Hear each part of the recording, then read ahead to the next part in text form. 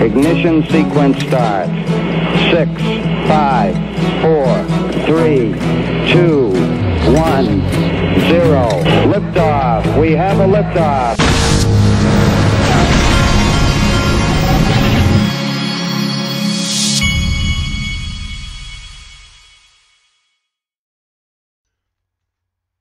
Hey, everybody, this is the digital asset investor.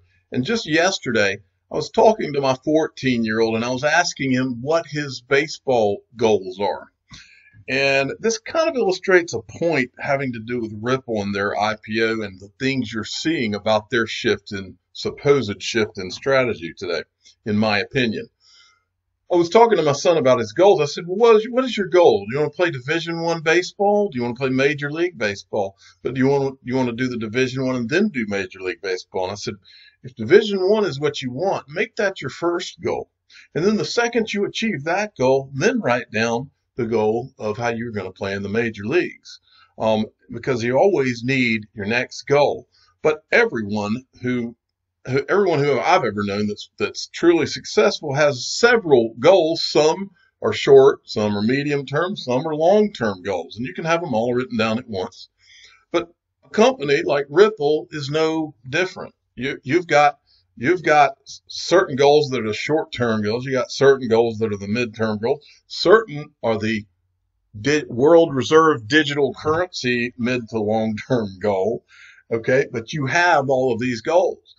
But when I saw this tweet right here from Asheesh Birla, I was I was looking at this and I was like, okay, so they've chosen on their first the, the this little shift in strategy is on the lead up to their IPO. They've chose this strategy as their as their leading up to IPO OGO, the way that they need to focus. Because remember, what do you do in an IPO? You have IPO roadshows. You have to have something that's nice and simple that's here in the now that you can sell you might not be able to as successfully sell to a group of potential investors. And again, this is just me talking, folks. This is just my ideas running around in my head. Would it be easier for you to go in front of a, group of investors when, let's say, for example, a Goldman Sachs is underwriting your stock and you're doing a roadshow?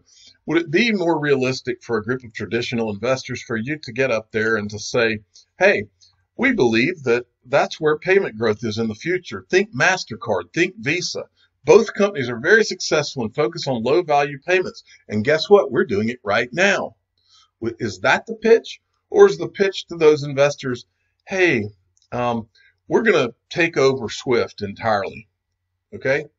What do you think would be more, more believable to a group of traditional investors here and now? Not not trying to sell them on what you're going to do in the next five years or 10 years or whatever, but selling them on what you're doing, telling them what you're doing now and how you think it's going to grow even more.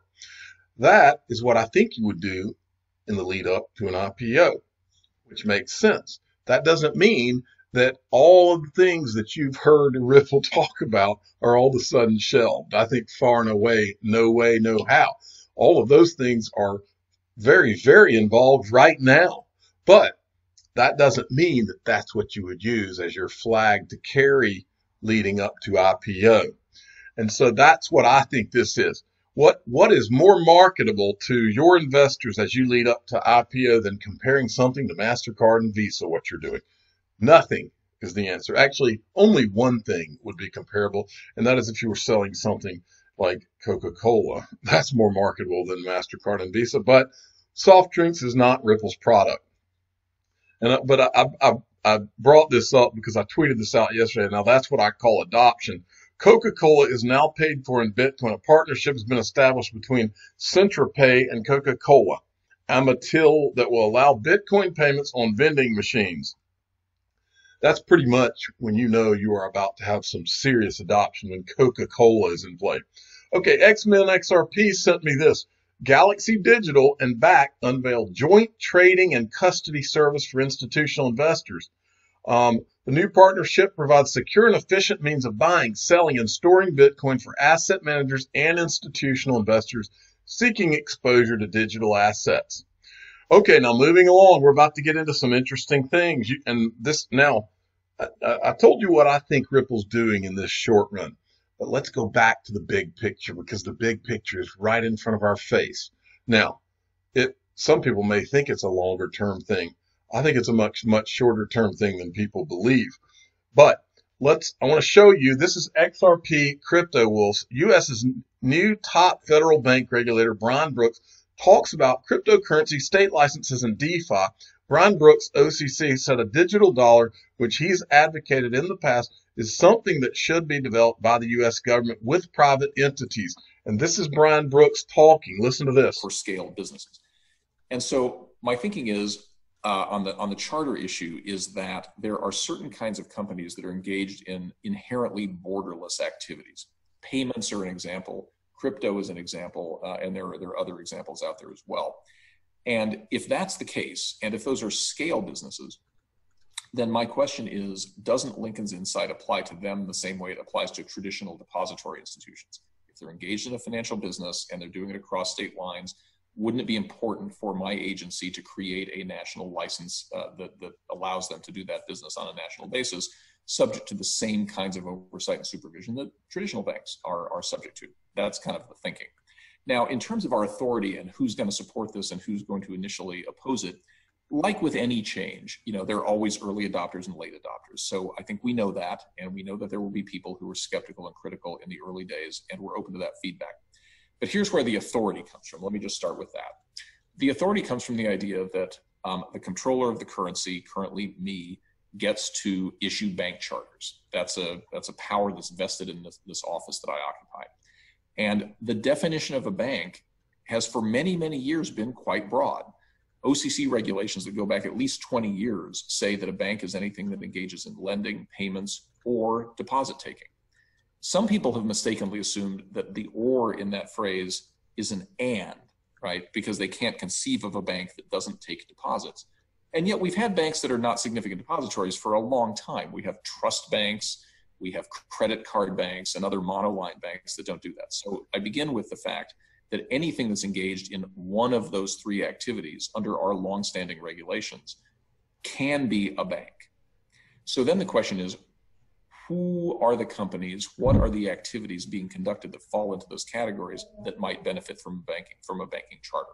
I'm really that is interesting because I believe that's what I think is ha- is going to happen with PolySign. That PolySign. That's what my gut is. Is that PolySign is going to be a large holder of this XRP escrow, and it might be turned into some sort of a bank, a custody bank of some sort.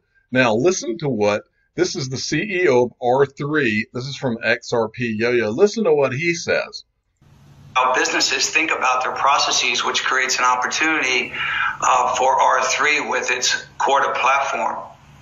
David, I wanted to ask you about who benefits from this because I know Facebook has clearly been pushing forward with digital payments, but it had a few challenges after the, the trust issue cropped up because of the privacy uh, invasions. But what happens next? Is it going to be private companies, or public companies, or is it going to be central banks that step up to the challenge on digital assets?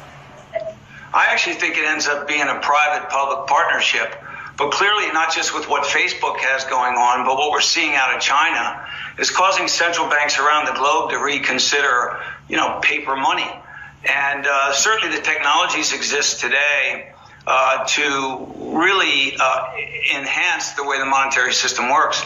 Early in this crisis, I wrote a little piece about the uh, idea when, when the Trump administration was talking about pushing checks out uh, for folks to spend to help with the economy. And the way programmable money works today, it's instantaneous and it can be directed to be spent. And if you think about how archaic sending a paper check through the mail to someone who you hope receives it and then you hope spend it, all those things need to be questioned. And the technology exists today to make those payments instantly and say spend them positively towards encouraging economic growth within X number of days or it disappears. You know, that's a powerful uh, way to think about, about money. And I think uh, getting back to Facebook, I had previously commented that I didn't think it was very well thought out because they talked about linking it to a basket of currencies and being an ex FX person, it made no sense to me. I think they've come a long way in their thinking. And, and clearly, if you're a central bank uh, or a government, you don't want to lose control uh, of your money. But I think the solution is central banks working uh, with private companies uh, to come up with a new type of money. Now, that's interesting on two fronts. One thing he mentioned in there that I thought was fascinating is programmable money. Imagine imagine that money, a digital currency being dropped into these digital wallets. And if you don't spend it in a, it's programmable. So if you don't spend it in a, in a, in a certain period of time, it, it poof disappears because it's programmable. That is amazing. But, he, but the other important thing he said is that he thinks private companies are going to be working with governments. Who do you think? Who's been doing this longer than anybody? Ask yourself that question. Who's been working on this longer than anybody? What company has been working with governments from day one of all of this? One, folks, is Ripple. All right. CR at Equity Pool sent me this. This morning I did a video on who the major holders of XRP are. And, and this guy brought this to my attention. I had shown this a long time ago, but some of you haven't seen it yet. It was a question on Quora. Is it is it really true that David Schwartz sold all his XRP coins in recent days? If yes, why? David Schwartz answered this back uh, August 15th, 2019. No, it's not true. I still hold a significant fraction of all the XRP I've ever held. Unlike Jed McCaleb, Arthur Britto, and Chris Larsen, I did not participate in the original division. Well, that answer right there tells me, uh, in if you remember my little uh, numbers I was showing, these guys like McCaleb and Chris Larsen, we know had four, uh, five five to six billion. So that means Arthur Britto must have gotten somewhere in the five six billion range as well. David Schwartz is saying right here that he did not he was not there when they split up, so he didn't get near what these guys did if he got anything at all. So that's an interesting thing right there in itself. I'm not going to read through all the rest of that. Now, let's go back to the big picture, folks. You don't need to stay. It, it, it's important in the lead up to an IPO that Ripple does what they're going to do, but that doesn't mean that you and me get to lose focus on what is really going on in this. Leonidas had tweeted this out. Don't forget the company Everis, um, owned by NTT Data. Everis has done several projects with Ripple, considers it one of the most important companies in blockchain DLT. If any company would like to start a blockchain and DLT practice nowadays, those would be the guys that they would like to partner with. And I want to play you, he's got on his xrparcade.com, which is very thorough site on Ripple and XRP if you haven't visited. He's got some videos and some a, a write up. This is the chart. Remember, I'll go to that in a second. But he, I wanted to show you this clip. This is one of the guys from Everis that's talking about working with Ripple. That's that's that's mainly 99% uh, of that money goes to the renewal of the mainframe licenses. Okay. So with blockchain, we can go from something like this into this. And you'll have to trust me on this one, okay? I don't have the time to explain every single detail on why this is so simple. Probably I'm oversimplifying it so you believe me more, okay? but trust right me. There. I mean, if you want to have a conversation on why we are going from this to this, uh, I will sit down with you and uh, properly explain. Okay. The most important thing here to understand is that we go from a centralized network with multiple versions of the truth, where I have to trust people, and which is highly error prone, to something that is decentralized and distributed. That means that the information is shared between the multiple participants of the use case, and there is no central regulator that says you are right and you are wrong. Everyone has the same version of the truth, and that's something that I have repeated many times because it's very important.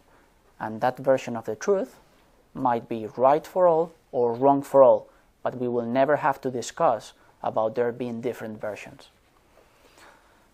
We don't have to trust in people, we can trust in cryptography, I like that. And we can trust in consensus algorithms, which up until today are highly secure. You can see there are some of our partners and the blockchain and DLT platforms that uh, our technology team have mastered already. Okay, uh, some of you might know some of those names. Uh, for those of you that you don't, uh, basically those are the most important companies in the blockchain and DLT space. If Did you hear that? The most important companies. anyone, if any company would like to start a blockchain and DLT practice nowadays, those would be the guys that they would like to partner with. This is what we are doing, okay, in Everis, Ripple, in the Corda. blockchain for banking space. Again, there's a lot of information in this slide. Okay. Anyway, these guys have been working with Ripple. Now, it all goes back to this, folks. And the official father of the Digital Asset Investor channel, he told me that the day that I did the video that included this slide. Now, and I want to give credit here. The first person that I know that ever came out with this slide or found it is Love for Crypto. So if you don't subscribe to Love for Crypto's YouTube channel, go do it. If you don't follow Love for Crypto on Twitter, go do it. That that guy's the one that that found this. And here it is. It's all laid out for you, folks. 2017 to 2020, Ripple becomes the standard for international money transfers between banks. ILP becomes standard protocol for connecting banks' cash ledgers as a part of Ripple software. 2020 to 2025. Just think interoperability, folks, because that's what all of this is. Uh, any, really, 2020 to 2030 is all about interoperability. And you go down here and you can see everybody that's involved with, with Hyperledger is in the game, BNY Mellon, IBM, who's partnered with Stellar. All these guys are in the game, folks. Then if you go down, the last slide, of course, is the favorite. Money networks, XRP ledgers at the very center of it all. Then the platforms are here, blockchains and DLTs, capital markets, trade finance, Internet of Things, payment platforms. You see the picture, folks? My son might be able to draw this. In fact, I think that the coup de grace for me would be if I got my son to draw this picture. He might be really angry at me for even trying. He would tell, I know he's going to tell me it's too hard, but I'm going to see if I can get him to do it on a big poster board or something. Okay. And I think that I Am Legion summed it up perfectly here. Time will tell. I think time will show that SBI, R3, Ripple, Accenture, NTT Data, Everis, SIA, and others will make XRP fuel the internet of value. And finally, I thought this great Gatsby, he, he said it well here. When you see a post saying, haha, CBDCs will replace XRP, told you guys, just for clarification, everyone, CBDCs and XRP are the perfect match. It's not one or the other. China doesn't want stable coins tied to USD. That is the entire point, folks. I am the digital asset investor. I'm not an investment advisor. This is for entertainment purposes only. Please subscribe and hit the like button and tell your friends and family. China does not want stable coins tied to USD. That is the entire point, folks. Thanks for listening.